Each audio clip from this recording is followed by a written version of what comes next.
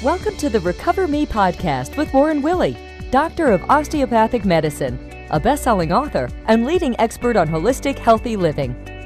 Warren is your guide to living a naturally healthier, happier life. So much of Western medicine, popular diets, and fitness fads put a bandage over health problems, addressing symptoms and not causes, offering short term results at the expense of long term health. That's why Warren is a man on a mission to question the status quo and uncover holistic health solutions you can use in your life, starting right now. Now, to get us started today, here's Warren. Well, hello, Warren Willey here again with the Recover Me podcast. Recover Me is the medicine that meets you where you are. Remember, we can't change your stressors, but we can certainly help your body and mind deal with them better. That's the Recover Me philosophy looking at life not through skewered eyes, but with open eyes and really trying to understand what's the best thing for me as an individual to keep me healthy. We really focus on individual based studies, the study of one, the N of one, if you will, versus population based studies that give you some general ideas on how to treat numbers, but totally miss the boat when it comes to you. So, today's podcast is going to be short because it's kind of an introduction to some rather lengthy ones that I've already recorded, but we're doing this one out first because I want to clarify some stuff. It seems that ketogenic diets are so popular now that I can't keep up with the emails I'm getting about ketogenic supplements, the importance of ketosis. Facebook seems to be covered with all these wonderful weight loss uh, before and after pictures when people doing ketogenic diets. And in general, again, these are nothing new, and I cover this great detail in a podcast called Ketosis. Um, their ketosis ketogenic diets have been around since the 1800s. We knew about them treating childhood epilepsy disorders for years. I have a diet book dated 1901 that talks about low carb dieting. Uh, and the importance and how to help you. So it's not necessarily a new thing. It comes in fads. There's a lot of research on it. And but what it does bring up and what I do hear way too much of, and that is carbohydrates are bad. And that's a problem because anytime anyone outlaws or criminalizes a macronutrient, we have issues now the American Dietetics Association and all of our wonderful RDs out there, they're awesome. They do good for people, but really they're training, they've been taught to criminalize fat and keep protein minimum and really focus on carbohydrates. So I thought we'd do a brief and quick little podcast on are carbohydrates bad? Are they? Are they needed for energy? Are they the cause of fatness out there? And then we're going to answer a very important question at the end, and that is Are they the best tasting macronutrient? So we'll cover that in some detail in a minute here. But why don't we dive into understanding are carbohydrates bad? Well, first, we need a little history behind that. It seems that carbohydrates are the center of the world for the standard dietetic people out there their diets are if you look at the old food pyramid or now the food plate or all these ridiculous symbols on how much and what you should eat it's all based on agricultural based financing in washington. And that is the majority of your food should be carbohydrate based that is a money issue not necessarily a physiological issue. This is back to why i mentioned earlier these broad based uh, public uh, recommendations do not necessarily apply to you tell people all the time when they read a study, hey doc, this says this could be bad for me. I, the first thing I ask them, were you in that study? Did they account for genetics in that study? Did they account for your activity level? Did they account for your stressors? Did they account for your emotions? Did they account for your physical well-being? Did they account for your mental health? Did they account for the rotten day you had at work because your boss is a jerk? No. So you got to look at this, and this is the whole purpose of the Recover Me Medicine philosophy: is how does this affect me? What do I do? Do I need 55 to 60% of my diet to be carbohydrate based? There's interesting, and I won't get into great detail on this because, again, I cover it in more in other podcasts. But if you look at a lot of the nutritional research pre World War II, they were really focusing on macronutrients. They weren't focusing on fat loss and fat being the bad guy. Fat didn't get criminalized until the 60s and 70s starting by uh, one guy named Ancel Keys. He was an MD that published the six country followed by the seven country study. And really, really, that was the start of fat causing heart disease and all these other problems. It was terrible studies. They would never pass today's mustard. Uh, but they really did a lot to criminalize fat and put carbohydrates. At the same time, in the 50s and 60s, we had the ag industry really growing and becoming a powerful money based influence in Washington. And we're starting to push out fat bad, carbs good, have more carbohydrates, have less fat, and you won't have heart disease and you won't get fat. Well, we know by the mid 70s when they were using high fructose corn syrup due to a number of sugar tariffs, fat had been officially criminalized by then. Look at our obesity curve in America. It's skyrocketed. Now, I'm not blaming it just on carbohydrates or that. I'm just telling you why some people are so convinced that carbohydrates are bad. They're not. And we're going to talk about that there's no such thing as a bad food. There's no such thing as a bad macronutrient. There's just bad diets. There's bad lifestyles, and there's bad stressors, and there's bad hormonal responses to f- food based on the individual. There's so many variables involved that just blaming a macronutrient is not only not very scientific, but it's flat out stupid. So we shouldn't do that. So carbohydrates were really professed and pushed forward back in those time frames. Now, let's talk about the macronutrients real quick. Let's talk about essential versus non-essential and then bring in semi-essential, which is so important. An essential nutrient is a nutrient you need for survival. Okay? You need protein to survive. You need fat to survive. You can live without carbohydrates. Carbohydrates are not an essential nutrient. and that doesn't make them bad. Your body doesn't need them. It can make sugar out of protein sources. It's a process called gluconeogenesis. Gluco for sugar, glucose. Neo, new. Genesis, the production of from a non original source. So gluconeogenesis takes protein, turns into sugar, feeds the brain, feeds the kidneys, feeds the red blood cells. Those are the three organs that absolutely have to have sugar, and you're okay. You don't need carbohydrates. There's plenty of uh, uh, historical documents as well as uh, communities throughout the world that had no carbohydrates. They ate, uh, I like to think of the Alaskans, I think they're the Inuit Indians. Uh, forgive me if I said that wrong or I got the wrong name there. But they lived on whale and seal blubber and meat and we're fine, healthy, no heart disease, hardly any cancers, lean, mean fighting machines until McDonald's came in we won't go down that road. But fat and protein are essential, carbs are not essential. Now, I could argue carbs may be essential as long as protein requirements aren't met. But if you're eating adequate protein, that's why we start in the recovery philosophy when we help people develop eating plans. We start with okay, how much protein do you need? Then we go to okay, what's your activity level so we can determine carbohydrates, and then the rest we put in fat as fat. So carbohydrates are semi essential. So you don't need them to survive, but they certainly improve your quality of life if you're doing various activities, which we'll cover in a minute here. Uh, let me cover just some of the popular diets out there as to how many grams of carbohydrates they suggest. And I always use grams. I'm not a big percentage guy, and that's not because uh, percentages tick me off when I'm helping my sixth grader do his math homework it's because it's harder to understand. If you really look, if I tell you to do a 70%, if I'm telling you to do a ketogenic diet, for example, and I tell you to do 70 to 80% fat and 20 to 30% protein, that really doesn't tell you much. Oh, well, it doesn't tell you enough. So I use grams. So talking in terms of grams, a ketogenic diet has less than 0, 0.5 grams per pound or one gram per kilogram recommended. That's a rough estimate. For a moderate uh, or what we call a low carb diet, not a ketogenic diet, but a low carb diet, we may be at one gram of carbohydrates per pound or two grams per kilogram.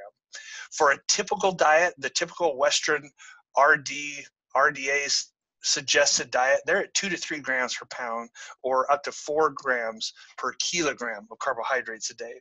An endurance athlete, which is someone who needs carbohydrates, as they are definitely a population where carbohydrates are semi essential, need anywhere between three to four grams per pound or six to eight grams per kilogram. And then in uh, activities like carbohydrate loading, like I discussed in my book Better Than Steroids, when we're doing uh, dietary supercompensations, we may get as high as five to eight grams per pound or 10 to 16 grams per kilogram of carbohydrates during that short term. So again, carbohydrates aren't bad, they're utilized, and those are the different diet percentages. There's question why then how do we determine how many carbohydrates do we need now that we uh, can be in agreement they're not bad. Well early studies show that as little as 15 grams of carbohydrates a day can limit nitrogen loss and that's utilization of your biceps for energy for your brain. So just a little bit of carbohydrates keeps sugar high enough to where the body's not going to tear down your muscle to make sugar. Now everyone's a little different there. Rising carbohydrate intake to around 50 to 100 grams really limits the body's use of amino acids for gluconeogenesis, or, or like I like to tell people, bicep food for your brain. That limits it by going a little higher. And that occurs via two mechanisms. One, the increased carb intake maintains blood sugar and, and keeps insulin at a slightly higher level, thereby suppressing cortisol. Now remember, insulin, I talk about this a lot in, in Better Than Steroids. Cortisol, your breakdown or what we call catabolic hormone when you're hungry is high or you're stressed or it's high or you're exercising too hard is high and insulin combats that. So having a good pre-workout meal keeping sugars at least somewhat present throughout the day will inhibit cortisol. They're antagonistic. They're like on a teeter totter if cortisol is too high insulin's low. If insulin gets higher cortisol comes down.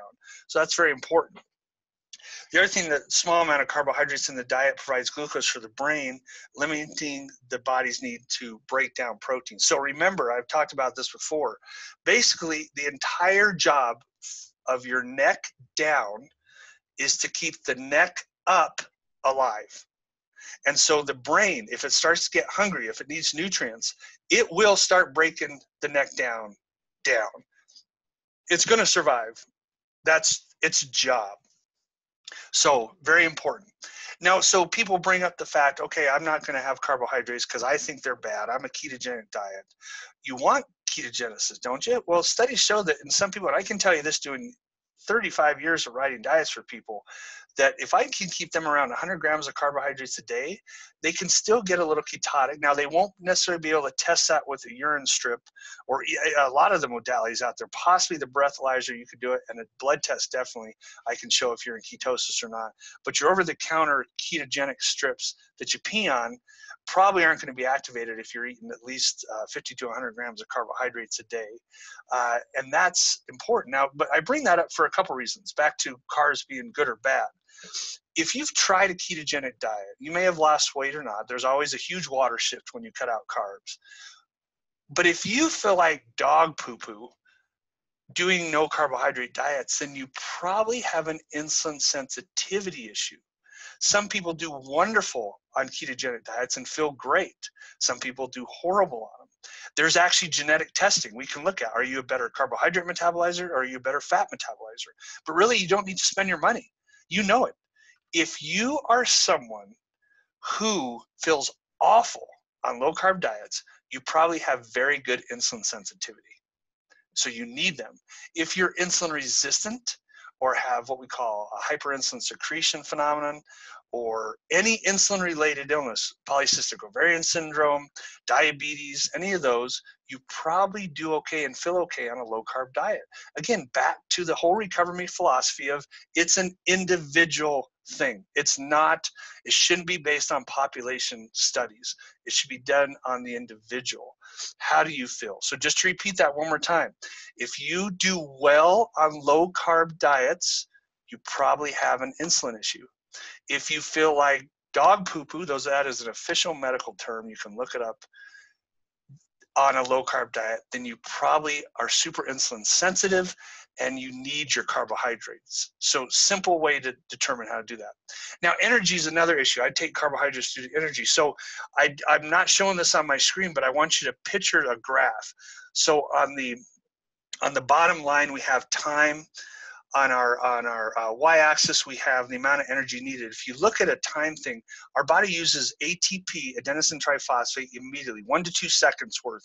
That's where our energy comes from over about two or three seconds, we use the ATP PC system. So that's why people take creatine. That's why creatine in studies has shown, the supplement creatine has been shown to help sprinters and people that do fast activity like powerlifters uh, or, or Olympic lifters. That burst activity, creatine tends to help that because that extends, extends the energy pathways.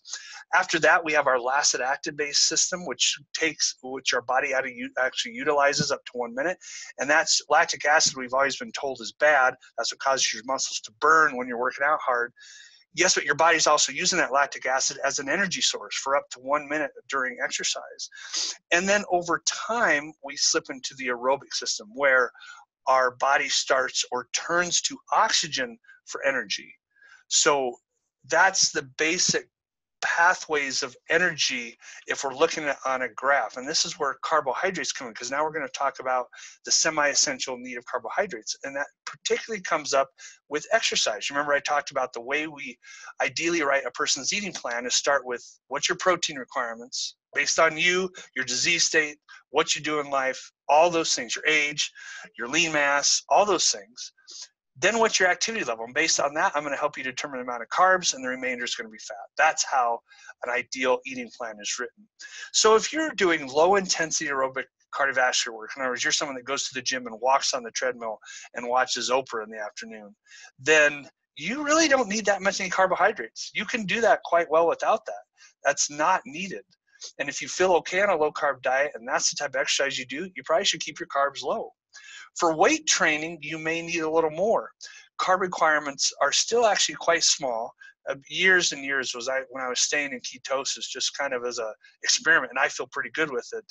Uh, I would train heavy and hard with zero sugar in my body, and did fine. Now, so there's some out there that say you need anywhere between five to seven grams per kilogram or two to three grams per uh, pound of carbohydrates for exercise. And giving a rough calculation, that's roughly one set of, let's say, 20 bench presses uh, to failure requires roughly five grams of carbohydrates to replenish that glycogen store. There's a number of calculations out there you can do if you're super anal and like it, or you just enjoy math, that's fine. But carbohydrates can be utilized in weightlifting and exercise, but not essential. But now we get into our endurance, excuse me, our endurance athletes, people that like to do more intense activity, our crossfitters, which I would put in that term, uh, our runners, our marathoners, our triathletes, our swimmers, our bicyclists. Those are people where carbohydrates are needed. That's what we call the semi essential carbohydrate needs. They're not bad guys it's a balance. You need to be able to provide the energy to exercise adequately and survive exercise, and then most importantly, recover from exercise. Remember that word recovery is so important, and carbohydrates are a part of that. Don't limit carbohydrates because you think they're going to make you fat. They don't. There's a bigger picture there. It's not just calories, it's not just carbohydrates. You cannot outlaw a macronutrient and expect to do it long term. You just can't do it. It's not realistic. You have to accept all food is good. Different sources are better than others. But in the big picture, how is your body responding to this food? That's what you want to look at and understand. So let's review. Are carbohydrates bad? No, they're not. They may not be essential in your particular livelihood, but they're certainly not bad. It's a balance and understanding where are you. And that's why in the Recover Me philosophy, that's the first thing we do. Where are you right now? And how can we optimize that? I can't change your stressors. We're just going to make your body and mind optimal with what you're dealing with. And carbohydrates are a part of that. Are carbohydrates needed for energy? Absolutely, as I just described and said a couple times. Based on your activity level, whether you're a desk jockey or you're a construction worker, your carbohydrate requirements are different and understanding that and understanding your response to carbohydrates. What is your insulin sensitivity? Are your other hormones balanced? Is your thyroid working? In men, is your testosterone level adequate? In women, are you still menstruating and have normal hormonal cycles? All those play a role in your overall energy, health, and well being. You can't just look at a macronutrient, throw it out the door. You can't just cut calories to nothing. You can't over exercise and not have any carbs in your system. It just doesn't work. It's a bigger picture. So carbohydrates are semi essential for energy based on your activity level. Are carbohydrates the cause of fatness? Absolutely not. That is a myth professed by the ketogenic uh, uh, preachers out there. In certain people, people do wonderful on ketogenic diets. I just wish that all of these before and after pictures extended for years, not months. Right now, our, my local gym's doing the Biggest Loser plan. No comment. If you're listening to this, my eyes just rolled to the back of my head. This is a short term plan. Your picture when you start and a picture 12 weeks later mean nothing. I tell you what, the winner should be the winner should have their picture taken in June, in September, and next January. And if they're still and if they've maintained even for one year, that's not nearly a lifetime, but if they can maintain it for one year, then I'd give them a prize. Give them a prize at 12 weeks, that's absolutely useless, means nothing, right? So are carbohydrates the cause of fatness? Absolutely not. That is silly to think so. And finally, to end this short, brief uh, podcast on carbohydrates, the question I brought up at the beginning are carbohydrates the best tasting food out there? I would have to unanimously say most likely yes, especially when it's mixed with fat and deep fried, like a donut. Now, who doesn't love donuts? That is part of the Recover Me philosophy. You'll not hear some purported health professional, such as myself, telling you that donuts are awesome and taste good. I'm telling you that because one, I'm not going to lie to you. Everyone likes a donut.